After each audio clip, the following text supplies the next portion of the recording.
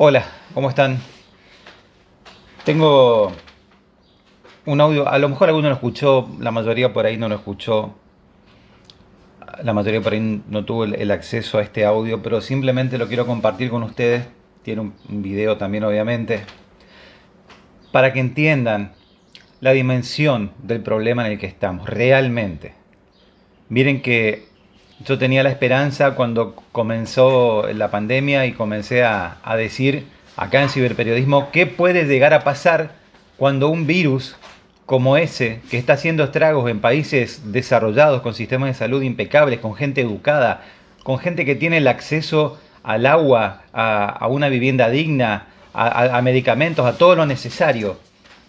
¿Qué puede pasar si ese virus termina llegando a un país subdesarrollado, pobre, víctima de los gobiernos corruptos que han caracterizado a la historia de la República Argentina. ¿Qué puede pasar con los ciudadanos como nosotros cuando eso pase?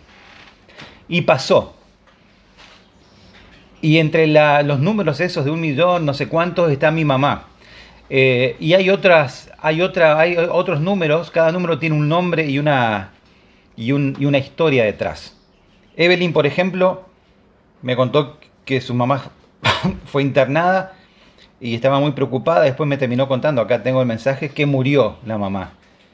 Eh, recibo otro mensaje de buenas noches, disculpa la hora, pero no doy más de la bronca. Mi papá tiene COVID, está en el hospital, en, este caso en Resistencia Chaco. Estuvo desde las 11 de la mañana hasta las 9 de la noche sin aire. Acá hace un calor tremendo, 40 grados ayer. Imagínate, agobiado, sin poder respirar sin aire y ni siquiera le explican si era porque había problemas con el aire o porque hay protocolos que hacen que no sea conveniente usar el aire acondicionado. Nadie lo sabe. Pero lo que te quiero hacer escuchar es esto. Y mirarlo con atención. Míralo con atención porque uno jamás hubiese imaginado tener que llegar a estas circunstancias. Mira. Hola. Hola. Hola, sí. ¿Qué tal? Mi nombre es... ¿Con quién estoy hablando? Con la hija. Mira, te cuento. Yo le estoy viendo a tu mamá. Sí. Desde que ingresó. Sí, sí. Sí, ya habían hablado con ustedes. El Sí. Eh, tu mamá, viste que tiene antecedentes. Entró respirando muy, muy mal. Sí y mm, con el oxígeno no es suficiente, ¿viste? Con la mascarita que le ponemos en la cara no es suficiente y ella se cansa de respirar, en algún momento se va a cansar. Sí. ¿Sí?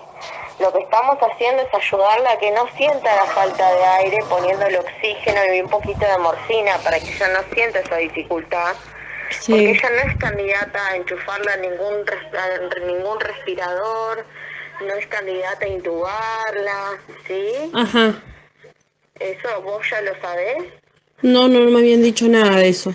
Sí, digamos, si se cansa, no es que la vamos a enchufar a un respirador, ni, ni nada de eso. Ah, bien. Es lo que habló el doctor. Bien. Con alguno de ustedes, no sé con quién. Sí, sí, habló conmigo, pero no me explicó eso de intubarla, no me explicó nada a mí eso. No, es candidata a la intubación, que, que, respire un aparato por ella Ajá. no es factible, ¿sí? Sí. Así que en este momento le estamos dando confort, ¿sí? ¿Qué es confort? Es acompañarla a que no sienta la falta de aire, ¿sí? sí. Con oxígeno y con otras cosas como para que ella se sienta bien. Ajá. ¿Sí? Bien.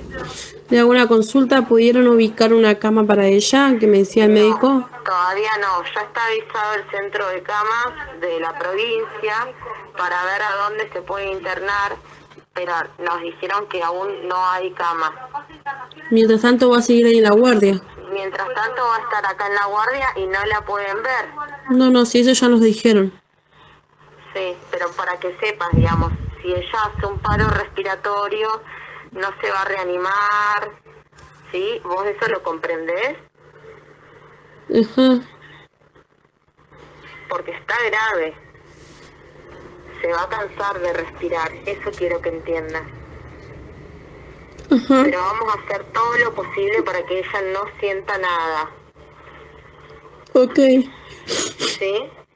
Sí, está bien. Bueno, mi amor. Bueno. Cualquier, cosita me llaman. Y nosotros te mantenemos al tanto. A ver, eh, ¿me podría dar el, número, por favor?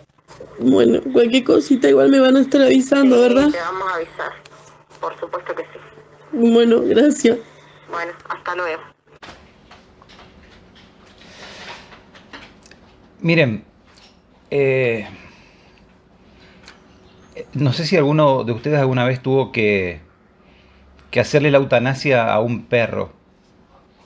Nosotros una vez en la vida nos tocó tener que tomar la decisión de, de, hacerle la eutanasia a un perro, que tuvimos mucho tiempo, estaba viejita, una perra, se llamaba Samba. Y cuando vino la veterinaria Silvia, Silvina, acá a casa, nos habló, nos explicó cómo era el proceso y nos despedimos de la, de la, de la perra y, y todos la, acariciamos y le dijimos gracias, Samba, por, por todo el amor que nos diste y demás. Y ahora, este audio que vos estás escuchando, te juro que acabas de escuchar, me hizo acordar a, ese momento de despedirme de, un, de un animalito que era una perra. Y fíjense cómo la corrupción, porque esto es resultado de la corrupción, todo lo que está pasando es resultado de lo corruptos que son y fueron la mayoría, no todos, la mayoría de nuestros funcionarios. Y lamentablemente, los que toman las decisiones están en los lugares a donde se producen los grandes negocios que terminan con situaciones como las que estamos viviendo ahora. El virus se convirtió, como te dije más de una vez, en una lupa que vino y te mostró la mierda en la que estábamos viviendo. Esta, esta chica no alcanza a entender lo que la doctora le está diciendo. La doctora le está diciendo, tu mamá está sentada acá en la guardia del hospital, acá en. Está sentada en la guardia, le estamos haciendo algo, lo que sea, para que no, no le duela tanto y se va a morir. Pero es tan trágica la situación, es tan de una película de terror que uno no alcanza a entender que sea cierto. Esa hija que llora sobre el final del video no alcanza a entender primero lo que le están diciendo pobre mujer, pobre hija y pobre la doctora que tiene que transmitirle esto. Pobre la doctora que está dentro de un sistema hecho mierda, un sistema de salud hecho mierda. Ustedes imagínense lo que es para una, para una mujer que se lo dice con una frialdad y un profesionalismo que uno realmente... Y si lo hace porque lo tuvo que hacer en varias ocasiones. Le está diciendo a una hija que su mamá que está ahí se va a morir y que no la van a poder ver. Y que ellos no van a hacer nada. Es decir, que esa señora, que no la conozco, murió más sola que la perra que tenía yo hace unos años atrás. ¿Entienden? Y este caso es uno de tantos. Hay un montón de gente que está padeciendo mucho. Mucho. Pensá en tu mamá. Yo quiero que pienses en tu mamá, visualiza a tu mamá que por ahí está en tu casa, por ahí no, y está viva, y que de repente vos tengas que vivir una situación como esta. Porque vos, vos te crees que estás exento de que pase esto. ¿Te crees que estás exento porque no sé qué? Y lo peor, como te conté, también es que la llevaron hasta la puerta del sanatorio la mamá, que hasta hace unos días atrás era la mamá. La mamá como cualquier mamá. Como una mamá de, cualquiera de ustedes que esté mirando, sí, que a lo mejor tenía diabetes, que a lo mejor tenía un problema cardíaco, pero hubiese vivido 5 o 10 años más si no fuese por este virus. Y todavía hay hordas de imbéciles que dicen que el virus no existe y que es toda una, una pandemia de más. A ver, habría que hacer una lista también de chequear quiénes son los que están haciendo que esto sea más grave, porque toda esa gente está haciendo que esto se agrave más y después había que, habría que iniciarles acciones legales. En serio os digo, ¿eh? y había que reventarlos, meterlos en cana y sacarle todo lo que se le pueda sacar por tarados. Estamos en un contexto global de una gravedad inimaginable. Ninguno de nosotros hubiese imaginado esto. Y después ya te conté cómo es. Esta, esta familia, esta chica, que fue de a su mamá, le dijeron, no, no, vos no podés entrar a tu mamá acá, la reciben, firmás unos papeles, le decís chao mamá y no la ves más, no la ves más, ni siquiera la ves después de muerta, porque las envuelven en bolsas y de ahí las llevan a un crematorio. ¿Entendés? Pero digo, más allá de esta, de esta cuestión de protocolo, después de que una persona muere por COVID, termino diciéndote, deja de perder la memoria, porque la falta de memoria de gran parte de la población argentina, de gran parte de tarambanas que creen que los, los presidentes que eligen porque son fanáticos son santos. San Macri, San Cristina, San Alberto, San no sé quién, San, San Menem. Déjense de joder, muchachos. Son personas que por diferentes circunstancias gobernaron, hicieron más o menos bien las cosas, pero la responsabilidad de la situación de hoy acá es de todos los que gobernaron todos los que gobernaron tienen un grado de responsabilidad en este contexto en el que estamos viviendo. Seguramente esto va a pasar con seguridad, no sé cuánto tiempo va a ser el que, el que transcurra hasta que termine la pandemia y todo se normalice. Pero si nuestra normalidad va a ser la misma de antes, lo que pueda pasar en el futuro va a ser igual que esto o peor que esto. ¿Me entendés? Igual que esto o peor que esto. Espero que te sirva la reflexión, que te sirva ese testimonio que acabas de escuchar de esa hija anónima y de esa mujer anónima que murió y murió otra más en el mismo lugar. Y espero que también te sirva mi testimonio que yo te conté cómo murió mi mamá. Pero acá tenemos enemigos, muchos. Un gran enemigo en la Argentina fue la corrupción y yo te mostré videos y denuncié un montón de cosas que han sido el periodismo. La ignorancia de mucha gente también es un enemigo en este momento además del virus. Y hay que terminar con todo eso. Algunas cosas se van a terminar más rápido.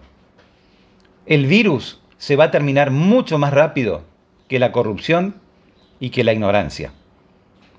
Pero vas a ver que con el transcurrir de los años, la corrupción y la ignorancia van a seguir matándonos más que el virus. Y hablando de muertes, pensá en estos datos. En la Argentina, mueren creo que 939, 940 personas por día habitualmente, en promedio morían antes de, de, la pandemia. Cuando aparece la pandemia, comienza este proceso de muerte por COVID, porque en realidad es el virus el que mata, no importa lo que tenías antes, te mató el virus. Y si muere el 3%, que es un alto índice comparado con otros países, un alto índice en la Argentina, vos tenés que pensar que cada 10.000 personas que se contagian, que hoy viste que son 10.000 o que son 18.000 o que son 17.000, el 3% van a morir en los próximos días. De cada 10.000 personas que se contagiaron, 300 van a morir. Y esas 300 personas son personas que tenés que agregar a las que habitualmente mueren por día en la Argentina. Es decir, que están muriendo no sé, casi el 40% más de personas por día en la Argentina. Está bien que el índice baja un poco porque no hay tantos accidentes de tránsito, tantos, pero los hay. Entonces, dejémonos de minimizar todo. Ya vimos que los gobiernos no tienen ni idea de cómo solucionar esto. La OMS no tiene ni idea de cómo solucionar esto. Y menos van a tener idea nuestros, nuestros gobernantes de cómo solucionar esto cuando tenés un ministro que decía que él no creía que el, primero se sorprendió que el virus llegue tan rápido y después comenzó a, emitir una serie de frases hasta el propio presidente que con, infusiones calientes todo se, se solucionaba o se morigeraba. No saben nada, nadie sabe nada de esto, no lo saben y lo están demostrando. Y cuando no lo sabes y encima sos pobre y no tenés un mango para sobrevivir y no tenés un mango para ayudar a la gente que tenés que ayudar, todo se pone más y más difícil. Tenía ganas de decirles esto. Soy José Viñuela, hago ciberperiodismo, hago lo que quiero y digo lo que pienso. Hasta chau. ¿Sabés qué es esto? Esto es técnicamente un mapa de medios. Mira cómo se vinculan todos. Ahí están los medios más importantes de la Argentina. Es como si estuvieras viendo un teatro de marionetas, pero desde atrás. El problema es que la marioneta en este mapa sos vos. En este mapa sos vos. En este mapa sos vos. Estos son los tipos que manejan gran parte de tus horas libres, de tus deseos, de tus ganas de consumir, de tus simpatías políticas y lo que es peor de todo, de tu libertad. De tu libertad.